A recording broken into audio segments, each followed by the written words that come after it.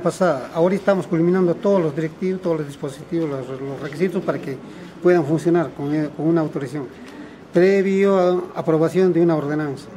Eso se está trabajando. Hoy día hemos trabajado en la mañana.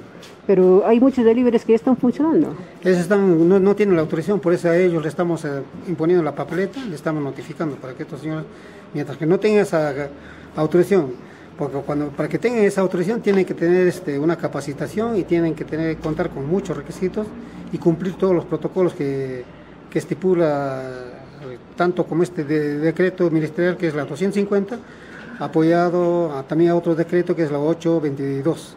Pero ¿por qué es que ustedes están retrasando tanto? Dices, eh, es cumplida No, como no, una no semana. estamos retrasando, sino que viene el dispositivo de Lima recién la semana pasada. No, eso está- estamos acondicionados a eso. Ahora, en torno al saneamiento de, los establecimientos, ¿cómo, ¿cuándo se va a conocer eso? ¿Cómo tiene que regir ahora los establecimientos de pollerías, de chifas, de restaurantes? Tampoco no se sabe nada. También eso estamos avanzando y ya, estamos, ya vamos a hacer ya las ordenanzas para que justamente se adecúen a- a- para que vuelvan a funcionar. Ahora, estos deliveries que están funcionando, eh, especialmente por el centro de la ciudad de Huaraz, ¿estarían cometiendo algún delito o qué le diría usted a los consumidores? Porque hay mucha gente pues que está consumiendo, ¿no? A los consumidores nosotros no, solamente podemos recomendar que no que no que no que no consuman por ejemplo, de una de, un- de un de un, eh, de un comercio que no está autorizado. Pero los que están infringiendo ya le estamos notificando. le Más o menos, ¿cuántos han detectado?